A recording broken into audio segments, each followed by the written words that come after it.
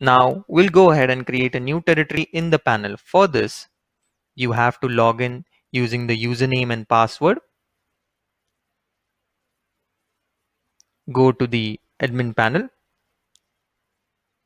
Click on master data. Click on territory categories. You'll find multiple territories created as per the client's requirement. Now we'll go ahead and add a new territory naming Gurugram. Once you click on save, the name Gurugram will be displayed in the list of territories. These territories will be displayed in the customers and the users tab. Now we'll go to the customers tab and will assign a specific territory to a customer whose address belongs to the same location.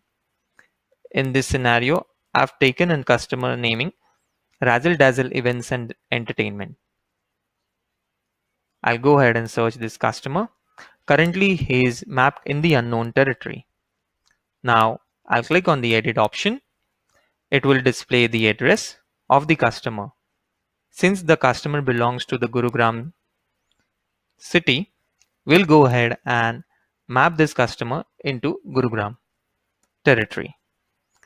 Click on save. Once click on save, we'll go back to the customers tab. Similarly, we'll do it for other customers as well. Now, if you go ahead and click on Gurugram, it will display all the customers which are mapped to the Gurugram territory. This will help us to filter the customer details in a convenient way and as per based on territory. Now we'll go to the users tab. Since we have already created territory and assigned the customers accordingly, we'll try to map a user to a territory. Suppose if a user is allocated to work in a specified territory, then we'll map those territories under his name. I'll consider a user naming Susan Jacob.